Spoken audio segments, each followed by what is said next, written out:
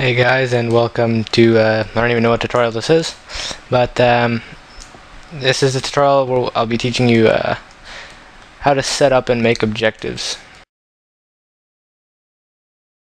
So I'll go back into the test, test uh, mission. Wait for it to uh, load up again. First time is always slow as always. Um, this tutorial is going to help you with uh, another tutorial that I'll be making uh, and depending when you're watching this might already be made. So uh, look for the briefing tutorial. So we'll just actually if you watch the tutorial before this which is triggers part 1 and 2 uh, I'm gonna keep what we have so far because we're gonna need it for for the objective anyways. So first things first. To create an objective we're gonna need triggers. We already have our triggers set up so really we can already start making the objective. So for okay, so right now, what we had in triggers in the triggers tutorial was for this man for this AT specialist to um, yeah for this AT specialist to destroy the Tunguska which is right here. And then once the Tunguska is destroyed uh, the Black Hawk will unlock. And that's what we have in our trigger Um, sorry, that's another trigger. That's what we have here. So as soon as the Tunguska is down, the helicopter unlocks and we get the little message that the Tunguska is down. So now what we can do, just to make it more um, more a lot more easy for you to understand and visualize, we're just gonna make a new trigger. You don't really have to. You could just add the the code that I'm about to add right after false. So we'll just create another trigger. We'll click F3, double click, and we'll axis A and B 0.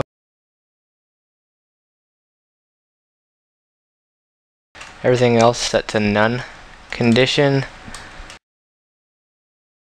Condition will put the that the Tunguska is down. So refer to uh, the trigger tutorial.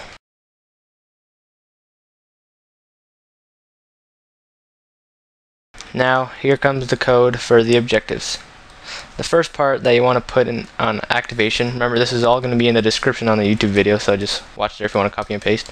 But first thing is, this in, in this case, this will be objective 1.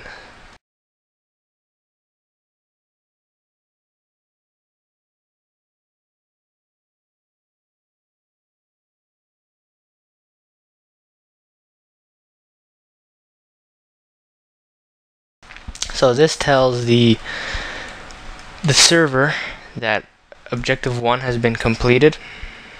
Uh, I'm to put it all capital. The next piece of code will tell the briefing, which I'll make another tutorial to do. Uh, I'll make another tutorial how to show you how to do it. But this next piece of code will tell the briefing that this task has been completed.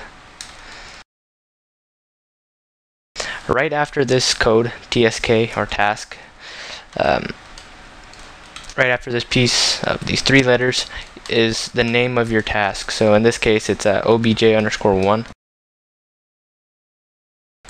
like that. And uh, then what you do is you put um, set task state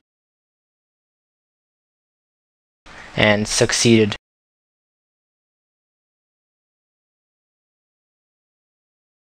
Alright, so this tell the briefing that the objective has been succeeded or done.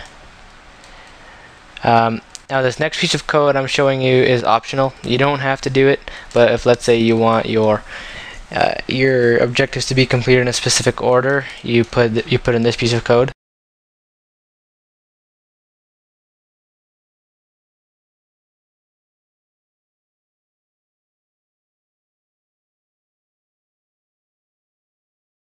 So this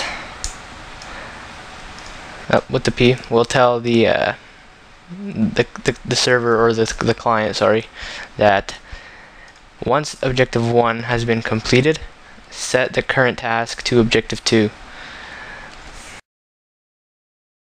Now this next part, you don't really have to use either, but it's easier to use, I mean it's better to do if after a certain amount of objectives are completed and you just want the mission to end. So I actually, uh, I do this quite a bit. First you just put them, so objective 1. So you're defining objective 1 as being true. So that means that once the Tunguska is down, objective 1 exists in the mission so it becomes an actual like uh, variable.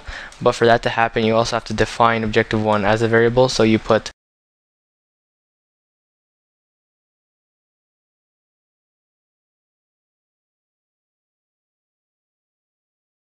that. You, you, we so we just defined objective 1 as a variable. And uh, that's all the code actually for this. Um, yeah that's it really uh, so yeah, this is a short tutorial, but make sure that right after this, you watch the how to make a briefing tutorial.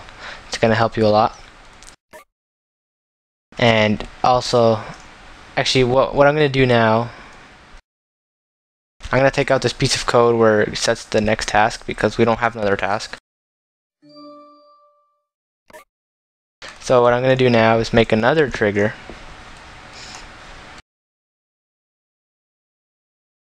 And remember how we defined objective 1 as a public variable, right? So we'll make axis A and B 0 again. Set the, okay, this trigger, so once objective 1 is completed, the game will end, alright? So set the type to end number 1. Condition,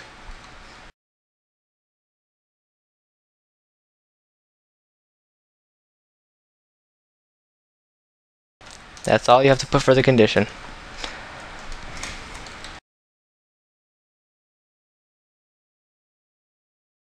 And then on activation, you just put the short code. Boom, and that's it. So once the Tunguska is destroyed, the mission will end. Since we only have one objective, uh, you might as well just do this.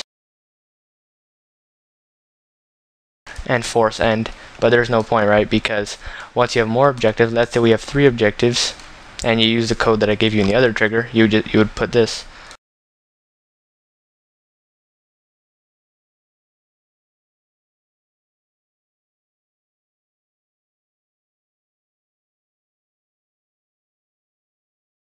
So that would tell the trigger that once objective 1 and 2 and 3 are completed, uh, the server will force end.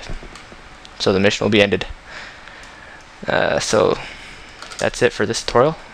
Make sure to watch the next tutorial and look in the description for the codes that I just put in.